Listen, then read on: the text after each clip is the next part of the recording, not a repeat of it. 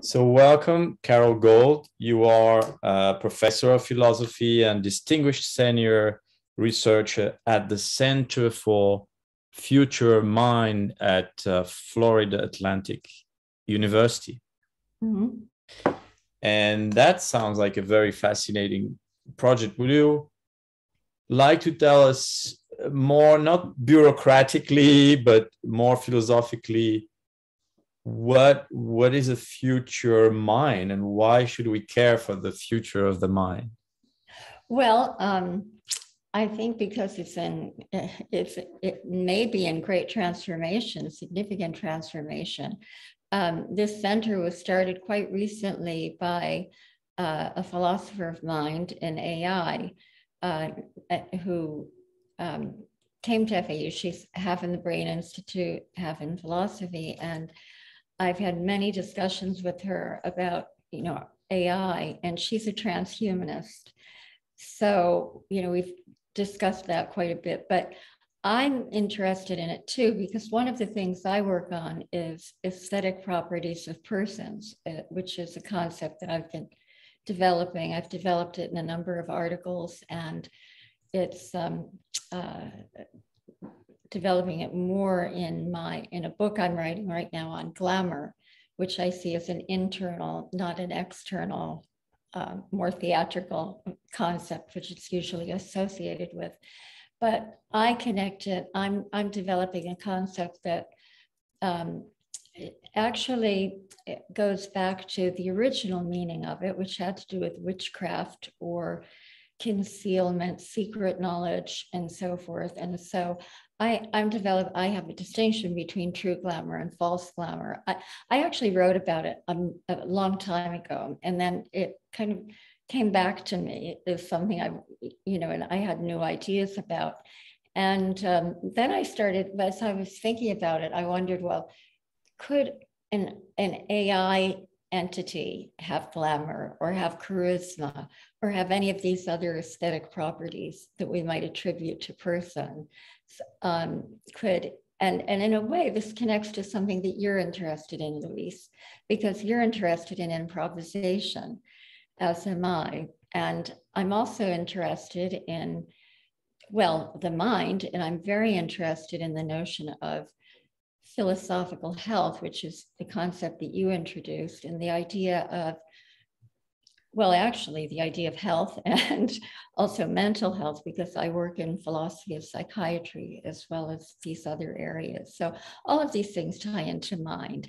I'm I'm very interested in connecting some concepts in aesthetics with um, AI and and so forth, but um, to get back to philosophical health, uh, I think it's a fascinating concept. And one reason is, is that in philosophy of medicine, and I know that you're a medical humanist, but in philosophy of medicine, one of the chief questions is what is health? You know, because it's been defined in, in different ways. What does it mean for a person to be healthy? Is it based on some statistical norm? You know, like an Aristotelian middle form, or, or is it based on some kind of concept of flourishing? And by the way, you asked about the Center for Future Mind, and one of the um, uh, one of the driving forces is uh, an attempt to understand human flourishing. So, is is health more than just meeting the statistical average or being um, uh, an adequate functioning specimen of a species. You see, I mean, so there's some very interesting questions there. And so when we talk about philosophical health, well, of course, we have two different ideas here. What is philosophy, of course, um, and then what is health? And I think that um, when I was getting acquainted with your concept, these were questions that were going through my mind. And, and one of the things that you pointed out, of course, in an interview, I can't remember who it was with, uh, forgive me, but you pointed out that philosophers have different philosophers have different concepts of what philosophy is and what what are we doing.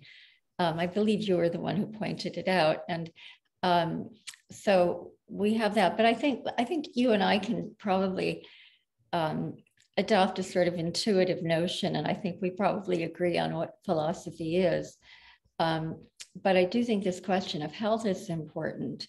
And I think, especially as philosophical practitioners, it's something that could be explored. Mm.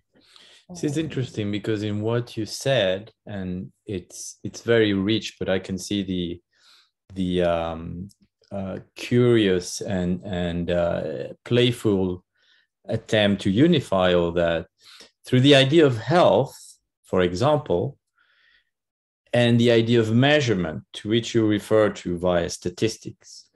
I would argue that biomedicine today have nothing to say about health that's not mm-hmm. their business. They are in the business of illness and absence of illness. Those things can be measured. While the idea of health that I'm trying to develop is not one that can be measured. Indeed, mm-hmm. as you were saying, it's about flourishing, it's about our participation to the creative flow. And, I, and I think we'll say more about that because you are a musician, and I'm very curious to uh, to hear you. how you connect uh, music with with philosophy so i'm quite um, surprised that the idea of a future mind is attributed to the responsibility of a transhumanist that is actually a little bit uh, scary for me. I don't know her, so maybe she's a she's a lovely well, person. Much more than she's much more than a transhumanist. Actually, yeah. I, I, find her quite quite um, extraordinary because she deals with and she consults with some national. Um, very important national organizations like Congress on the ethics of AI. Mm. And you know, which I think so she's broad, but you know, we've talked a little bit about transhumanist and mm. um, but if I may just, since this is improvisational, as you, or at least you said in the beginning, if I may just go back to one thing you said about the uh, domain of the biomedical seems to be more um, uh, disease in the absence of disease or illness in the absence of illness, I think you put it. Um, I think all too many people in medicine define health as the absence of disease.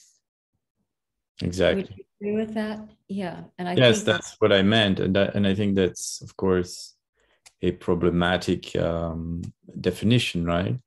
Uh, because that equates uh, health with measurements and therefore with norm and one thing that um, i am attempted to to to convey with this idea of philosophical health why it's needed in complement to physical and psychological health is that these two previous forms of health uh, are increasingly being uh, equated with with uh, measured forms of life, right?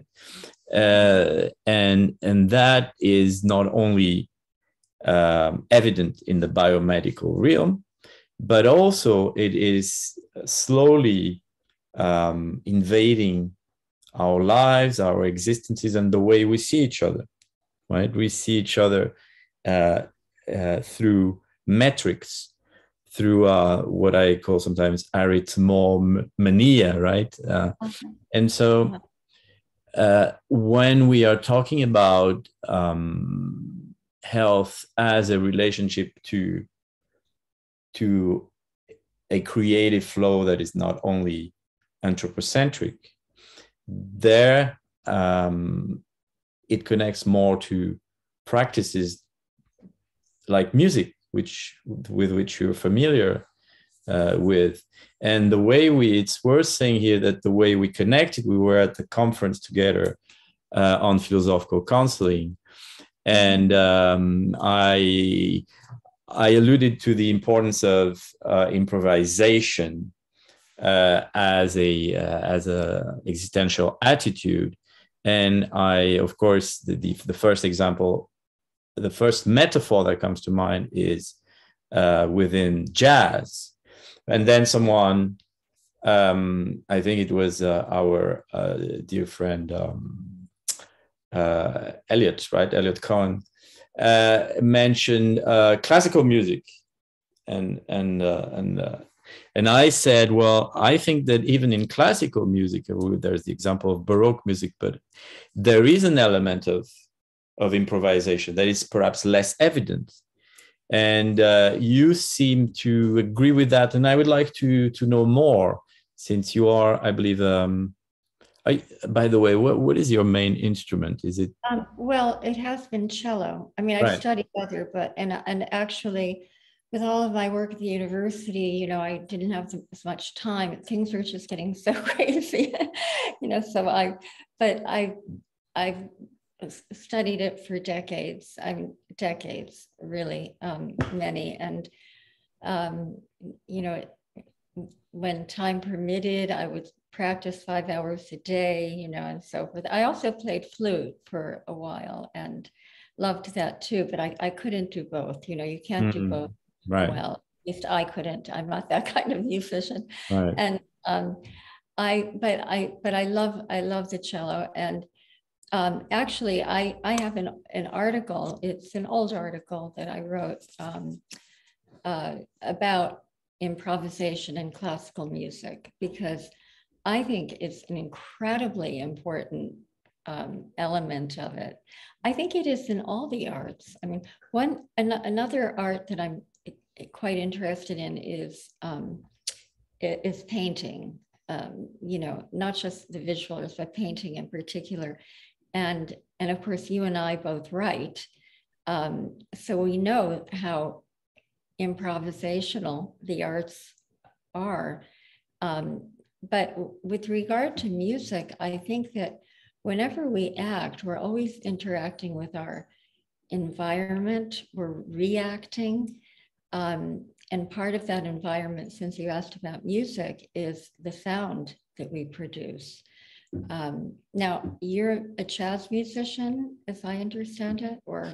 No, I'm an amateur musician, um, not at all um, regularly practicing uh, you know as you as you mentioned and that is something very important that we can uh, uh, dive into a little bit more it's very difficult to do various different things very well in in the manner that really expresses some form of singularity so when i was um, 17 i on the one hand i was playing music composing songs etc Oh. On the other hand, I was writing already.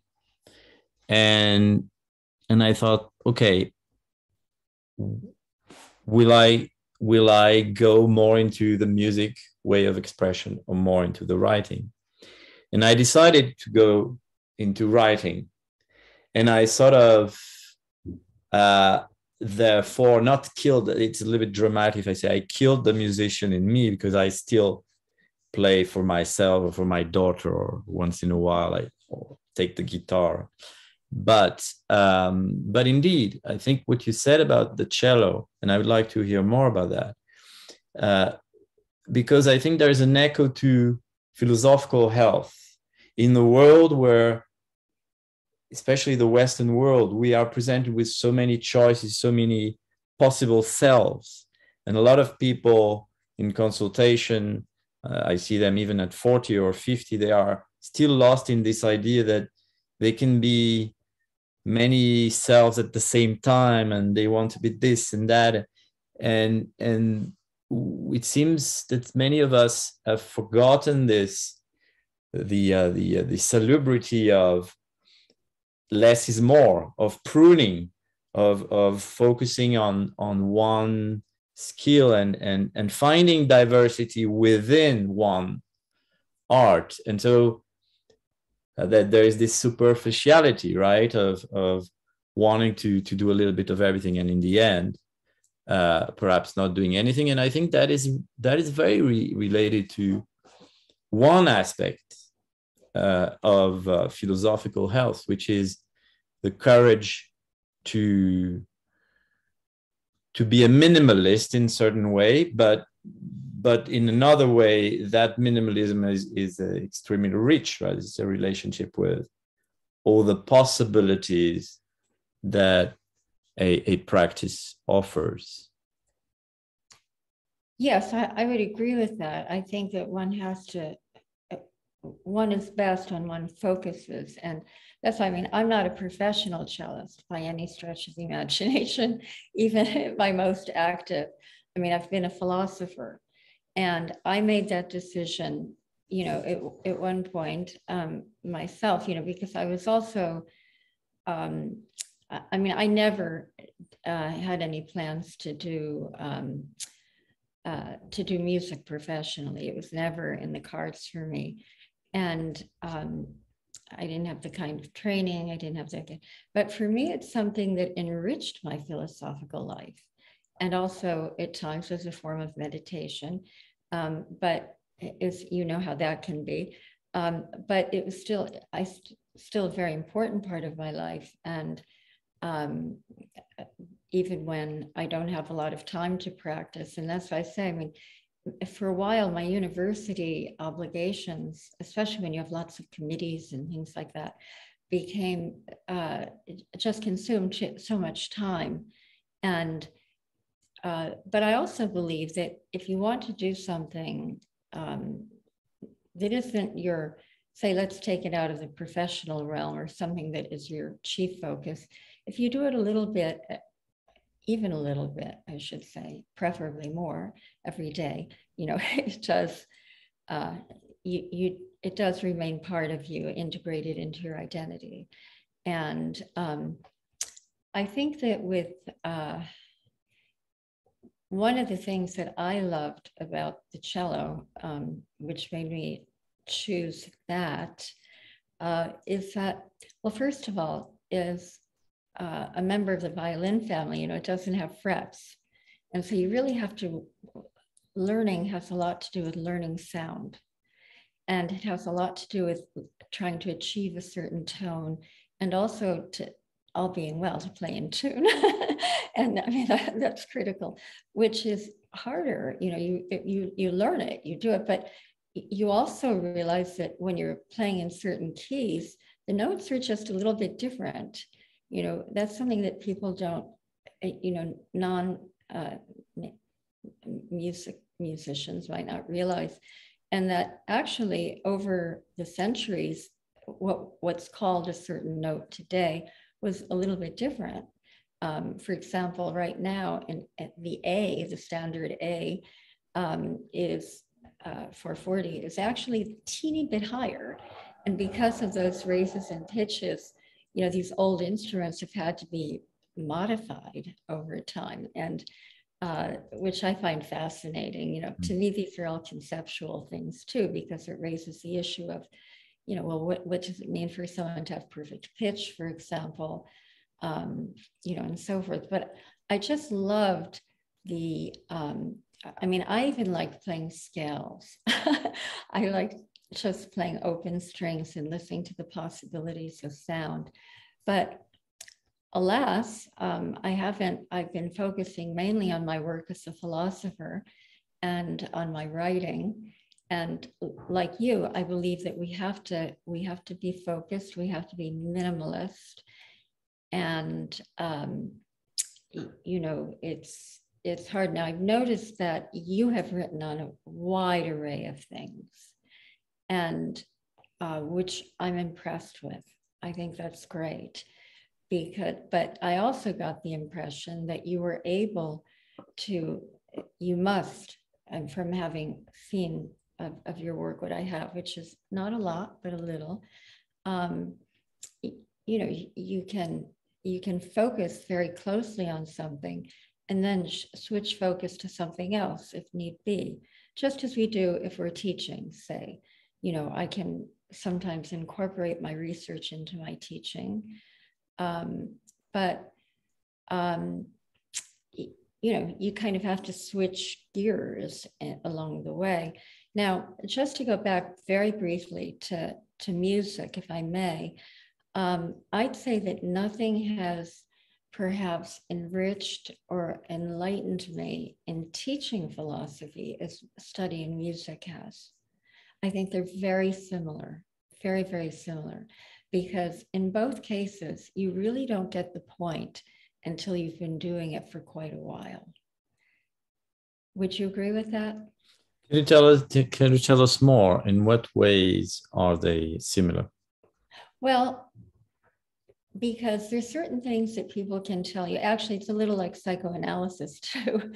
you know, um, a, a, um, a, teacher, uh, um, um, an analyst, whatever, can explain something to you, but it's not until you practice it that you come to see what they're talking about. In fact, it might not be until years later that you really understand it. Um, and I think the same is true with philosophy. And so you really have to think very closely about how you present principles, as you do if you're working with someone in it as a philosophical practitioner. And so I, I, and I think that's true. I was thinking about the concept of philosophical health. Um, what is it for a human being to flourish?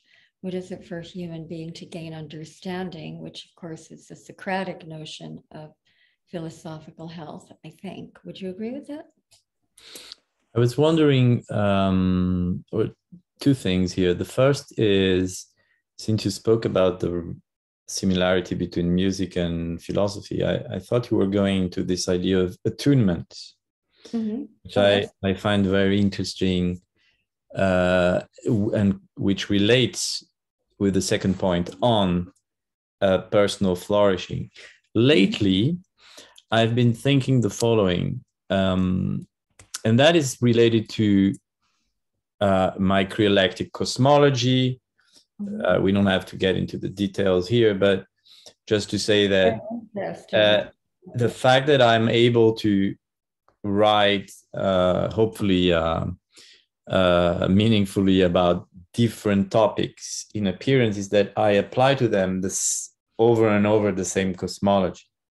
Mm-hmm. Uh, whether it's AI or, ne- or, or neon signs as a metaphor for identity, or t- so uh, so there is a, a, a, an appearance of diversity, but in the end, it's it's it's the same cosmology, and via the lens of that cosmology, I've been lately, very lately, I'm I'm finishing a a chapter for for a book I'm editing on philosophical health, and I realized we can we cannot satisfy ourselves only with this idea of personal flourishing uh, today in a world that is, uh, as we know, uh, more and more globalized and where uh, humans and non-humans are in constant uh, interweaving.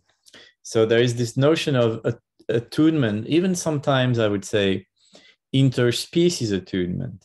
But by species, I mean not only uh, you know, cats or, or feline, or uh, I'm not a biologist, but uh, but in fact, anything of the realm of the other that it might not have necessarily been identified as a species, uh, and so this idea of attunement, I find it rather musical, right? As is the the metaphor of harmony, which has been used uh, very often.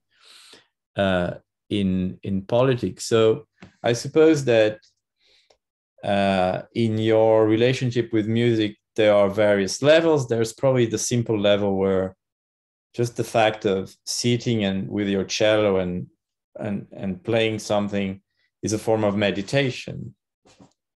And then at another level, I suppose that when you're trying to harmonize ideas, for me it is it echoes the idea of a composer trying to to harmonize notes.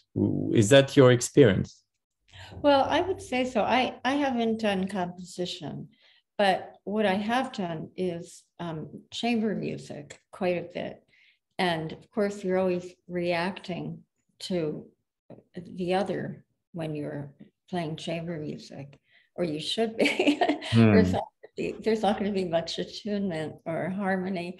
Um, and uh, which is ideal. I mean, you you know, if you want to sort of have a, a musical conversation, which is partly what chamber music is about, I think, uh, analogy with philosophical conversation. um, it's uh, the same way. And even if you have a score, say you're playing uh, a sonata with uh, someone like a, if I'm playing a sonata with a pianist, um, it, you know, there's, um, in, a, in a sense, uh, you have to be attuned to what others are saying, but you also want to attain a kind of unification. Does that make sense to you? And so if if two people are play, have diff, very different approaches to playing, sometimes it just doesn't work. Um, and I mean, I don't mean approaches intellectually, but I mean you can just hear them. Um, and I think that that's uh, you know that's one thing that makes it exciting, and it's always improvisational, always. Right. So there's this dialectic between. Yeah uh, improvisation, creation, attunement, and on, on the other hand, a, uh, a sense of unity that needs to be created. And that actually echoes the, um, the existential biography that one might think uh, may be enhanced by philosophical counseling. So you have uh, tell me more about your relationship to philosophical counseling uh, in the past, present, and future. Well, actually, I would say it's more in the past and the future because I haven't, I'm just reviving my practice. And in fact, I'm, uh, I had been certified by the APPA um, at both the individual and the corporate level. And uh, when I had my practice uh, some years ago, um, I worked very closely with the CEO, but it was more on an individual level. But I actually did help him. Oddly enough, this is an, a strange outcome of it, but I actually helped him develop a product, which, which was a surprise. But he was really interested in trying to trying to articulate a worldview. And he had a worldview and he was quite confident with it. He wanted me, he said, to knock down his ideas so he could rebuild them and so forth.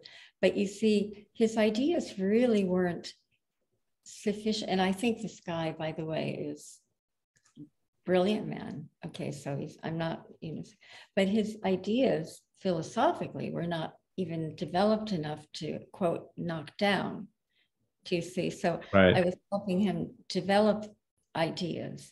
And one of the ideas, we, he was talking about the various components of life. He wanted a philosophy of life. And um, which I thought was admirable for someone who is a, you know, CEO, uh, very, I'd say, well, yeah, driven, let's say driven, certainly conscientious, uh, responsible, um, excited about what he was doing. And um, his company has done well. It's um, based here in, in this area of Florida. And he, um, but he was interested, one of the components of life is love. And he had this formulaic idea of it. And which I found interesting. And so we worked on that a lot. And he found that as he um, would throw out an idea or what he thought was an essential component, and we would, I would ask him to define it or what he thought, he he was somewhat stymied by it. He, he didn't quite know where to go with it. And we worked for quite a long time on developing a philosophy of love that he was and and I too was comfortable with because well maybe we had different views because I don't think it can I, I think a reductionist theory of love is impossible. You know I, I don't think that one can um, exhaustively define it mm-hmm. um, or analyze it. I think that there's always some little speck that's, you know, that indefinable. And uh, so but we we worked on that for a very long time, and he, um, I, I think that he he learned a lot and learned a, a lot about himself and learned a lot about his relationships, and and actually I I too did um, in in doing this work, but I think that and and by the way, I think that he attained that wasn't the only concept we worked on, but I think that he attained some kind of measure of philosophical health in becoming more responsive, more deeply responsive to the world and to the people in his life, his family, say. Um, uh, he was, uh, you know, he was a serious person, but he, you know, he he also and and he actually had a, a great um, kind of passion for philosophy, which surprised me, but he didn't quite know where to go with it. And um, so I found that now he was he was one of my most important clients, I would say. Um, I didn't know what to expect working with someone like that. I didn't know if this was he was more interested in um, kind of solving problems, maybe ethical problems or or definitional problems with his goals or or what. But he mm. turned out to be just profoundly interested in having and let's let's call it flourishing, you know, in the philosophical sense. Mm-hmm. Um, there were some a couple of clients I worked with who um, who I felt really needed more medical treatment than, you know, than we as philosophical practitioners are. Right. May I, I interrupt you here and ask because we all know, for example, uh, I don't know, as you were talking, uh, uh, Lacan's philosophy uh, definition of love came to my mind. Uh, love is giving uh, what you don't have to someone who doesn't want it. but what is what is your definition of love then? Oh, my definition of love. Well, I think that there's certain elements to it. Certain, um, if, well, this is a question I certainly didn't expect, but um, and uh, and and actually, love is something I have written on as a philosopher, um, because I think that first of all, it has a lot to do with um, appreciating a person as an individual, seeing the person as irreplaceable. Um, even if you have more than one love, um, you know, you can, you still see each person as, or, or the, your significant other or whoever it happens to be, or a child or whatever. But to really love someone, I think, is to see them as utterly different from anyone else. You know, sui generis one of a kind, more unique than rare. And if you have a definition or if you have necessary and sufficient conditions for love, that's uh, inconsistent with being able to see that person as unique and to see your relationship to them as unique. Because it will be. If you see if you see a human being as unique in himself or herself um, you can't you're not going to relate to them in quite the same way as you do another person right? Who or yeah. who has another role like as a parent as a as a child or as a um, you know you or as as a lover a spouse um, a friend whatever you know because you have a friend that you love and part of what you love is you know something that's utterly irreplaceable. Um, when you, that's why grief, I think, is um, is so devastating because you know that, that it's a loss that cannot be that cannot be replaced. You can never recover that loss because you can't recover that individual person. Does that make sense to you? Right. The plurality of love and the the singularity of the person, singularity. which actually is a very good. Uh, I'm looking at time here. That's my uh, biomedical uh, uh, as facet of an interviewer, but um, that connects very well with what you said in the beginning and, and transhumanism, uh, because I think we are living in a time where there are two competing uh, definitions of singularity. So the 20th century, very French philosophy idea of singularity, which is what you said about love. It's the uh, the uniqueness uh, of the person in such way that uh, all the um, the rules it's a little bit like the singularity of a black hole. The laws of nature dissolve and, and break. That there is their infinite possibility. And on the other hand there's this transhumanist idea of singularity, which is the machines uh, overcoming humankind, etc. Uh, and I find it interesting, per, perhaps not for discussion today, but how many terms of philosophy are stolen by computer science.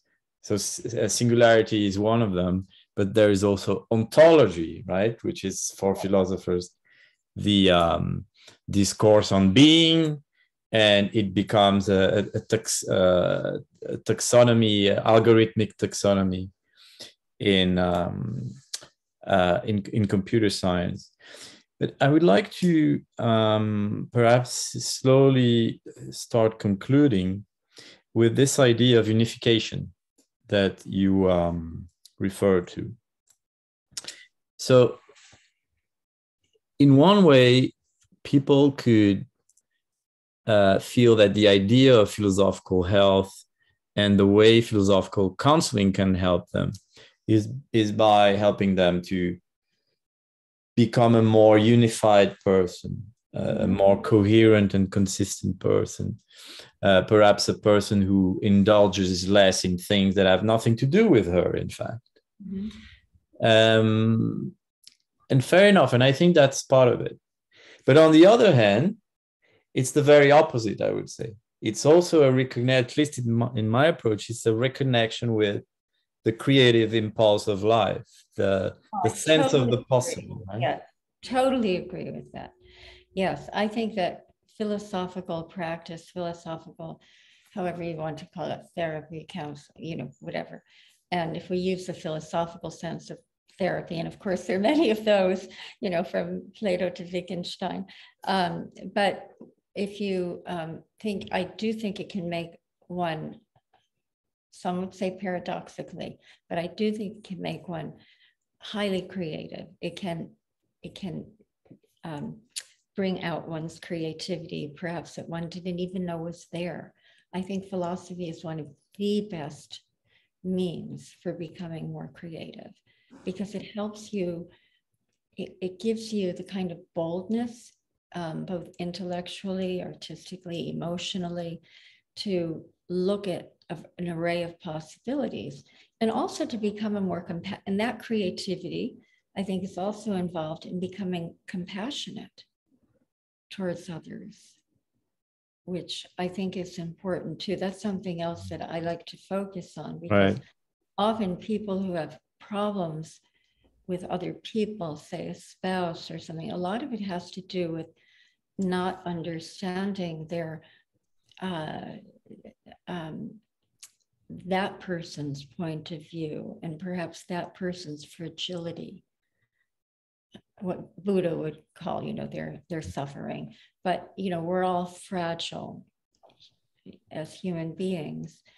And um, so i think that um, you know a creative view of life doesn't only enhance and improve one's own uh, life in whatever one's pursuit is or just living um, and as an observer of the world or whatever but i think it also um, enriches one's relationships which in turn makes one if i may use the term uh, happier mm. because you can resolve it allows one to resolve sometimes issues people have with others, which is, you know, one of the most problematic aspects of, you know, a non-pathological life. I'm talking, let, I assume we're talking non-pathology here, Right. right? Okay, so uh, I don't know what you think of that, but I think this is extremely interesting. We should have another conversation about that. Um, of course, you knew already before saying it. You you anticipated that I would react on the word happy. Um, I tend to be more Spinozian. Use the term joy. It was actually the title of my first novel in French, Joie. Uh, but I, I understand your intention, and and I do agree you know that uh, a little bit of autobiography here. Uh, I think when I was a teenager and throughout my life, I think the influence of Nietzsche has been really uh, strong. And because of my, let's say, the biography of my first 20 years, um, I've become a very resilient person. And so I identified with Nietzsche's idea of great health is like what doesn't kill me makes me strong, etc. Right? And and it is only later in life that I have understood that not that I think I was a cruel person, but I was a little bit suspicious of, um, for example, empathy. I think empathy empathy sometimes causes as much damage as as it helps in other uh, circumstances uh, because it's very normative.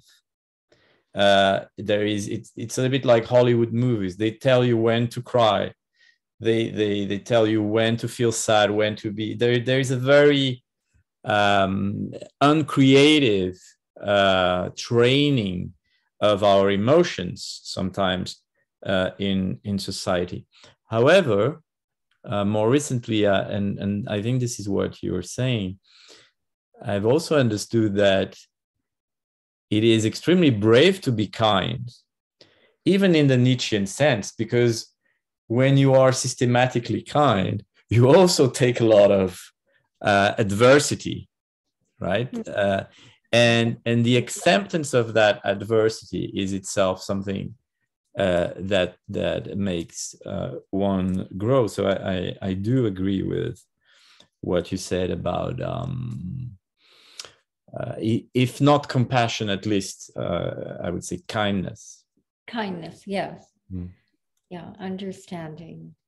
Yeah, because I think understanding the other can free you. It's a form of liberation. Would that, does that? Yeah. I don't know if that resonates. But. Yes. Um, okay. Does I mean it? It seemed obvious to me when I heard it um, but perhaps my face was showing something else. I don't know. Um, do we do we ever? There's there's we can be kind without understanding fully the other, but in the end, I agree with you that um, this active understanding, precisely because we are beings in constant creative flow, it's not like the other person is an object fixed there with a spe- specific psychology to be understood as an object. Uh, of course, it is that in the act of dialogue and comprehensive dialogue, both are actually creating uh, new identities that reflect each other, right? It's a very intercreative process. So, in that aspect, this is why I was a bit hesitant, is that there is a there is an understanding which is also a meaning making process so it's transformative for for both parties or or many if we are a group yes yes all being well right? That's ideal yeah. But if not for the other if it doesn't if it doesn't affect the other it can still help you. Mm. And still help oneself. And I think that that can be very useful in working with our clients as philosophical practitioners to help them see it as a philosophical health as a form of liberation from negative emotions and right. resentments and so forth. And I thought what you said about empathy, though, was extremely interesting. thought provoking. I'll have to think about mm, it. yes, and uh, I mean we could develop that. There are actually there there have been studies about that, although studies from the psychological field, which which are always a little bit problematic because they are about uh, very often um, hammering people with questionnaires that are pre-established. I would like to conclude by listening to you and ask you what's your big project for deepest project for the next 10 years my deepest project well um, i think that one thing is that um, i want to continue to, to develop some of my ideas in and this uh, in a very non-frivolous way the aesthetics of persons which i think connects to philosophical health. And it has to do with um, this project that i have going right now on um, uh, glamour and personhood um, concealment and superficiality of self-presentation and different ways, modes of self-presentation, and also to develop, um, continue to develop, I hope, as a philosophical practitioner, because I believe in it so strongly as a powerful tool for flourishing. And I'm interested to, I mean, I'm not giving you concrete projects, although I have them in the works and I've um, just finished something in Japanese philosophy that I'm hoping to integrate into all of this. But I'm uh, I'm really hoping to get a deeper understanding of personhood and also to help others. Um, yeah, and and like you, I'm I have a profound interest in psychoanalysis. Um, yeah, so that uh, that may be something I've developed. I'm, you know, one thing that I've become acutely aware of uh, is the just the contingency of life and the uncertainty of it.